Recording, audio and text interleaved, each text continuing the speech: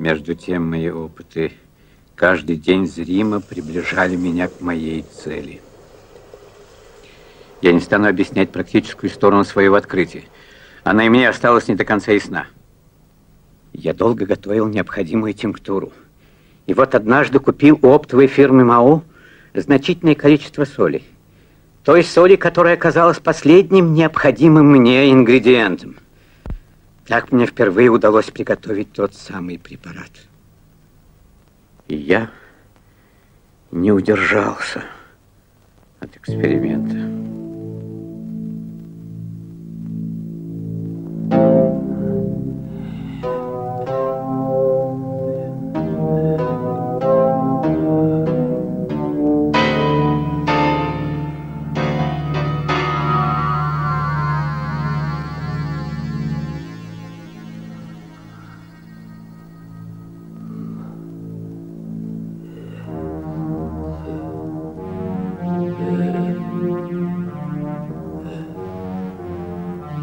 Ha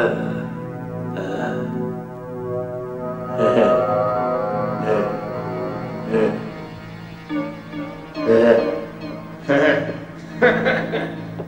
ha.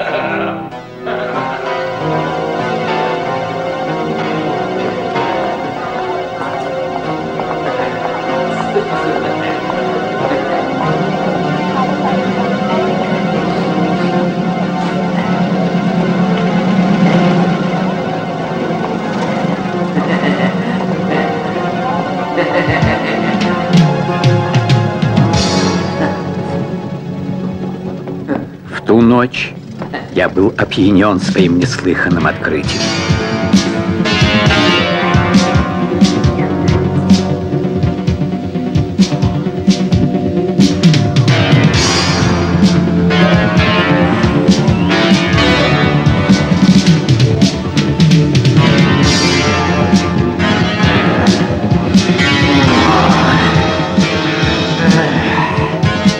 Однажды, Атерсон, вы стали невольным свидетелем моего эксперимента, когда случайно встретились... Теперь я думаю, случайно ли?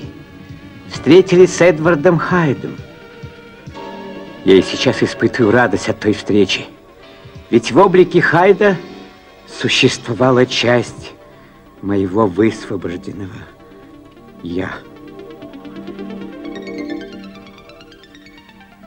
Так я потерял власть над собой. Хайд становился все более деятельным и неуправляемым.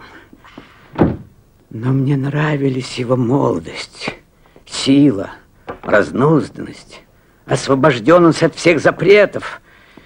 Я не устоял перед искушениями подобной жизни и незаметно превратился в раба худшей своей половины.